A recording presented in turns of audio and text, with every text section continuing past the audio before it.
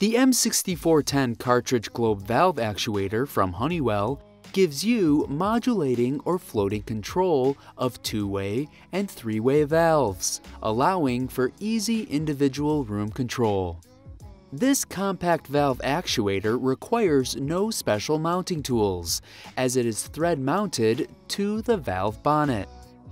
Due to its small size, you have flexibility for installation in limited spaces commonly found with fan coil units, induction units, small reheaters, and recoolers. And it has a red pin visual position indication to show you exactly where it is placed. Intended for use with controllers that provide specified signals such as the Excel IRC system, the M6410 is housed in a low-maintenance plastic and has an IP42 ingress protection rating. The M6410 cartridge globe valve actuator also has magnetic coupling for torque limitation, regardless of voltage supply, and adjusting for the close-off port.